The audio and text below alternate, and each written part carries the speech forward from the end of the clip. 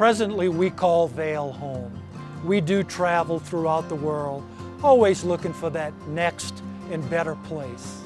It's going to be a real tough challenge to find a better environment than Vail. Well, the common answer you hear a lot of people say is you come to Vail for the winter and you stay for the summer. The outdoor activities, the environment, the hiking, the biking, all of that is fabulous.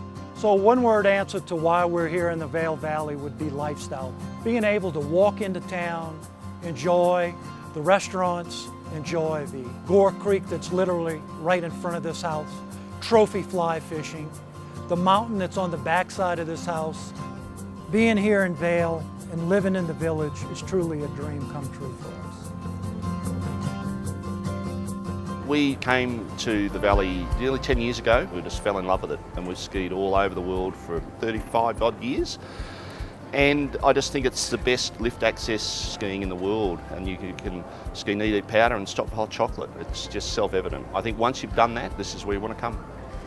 We find Lionshead are more of a family oriented location. It's just a really peaceful, relaxed environment here, but still super easy access to the whole resort. Probably more contemporary architectural design features.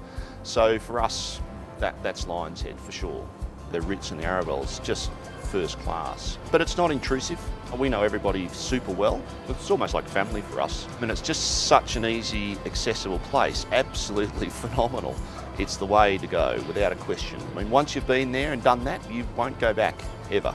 Love the road biking here, certainly the trout fishing, just general hiking. Probably for me, the fishing and the riding is just stunning. To be frank, we just love the dining and the restaurants.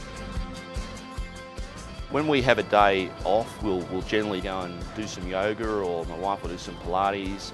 We'll just go for a wander around. The shopping's stunning, dangerously good. But we love the restaurants and just having a lazy late lunch is just so much fun.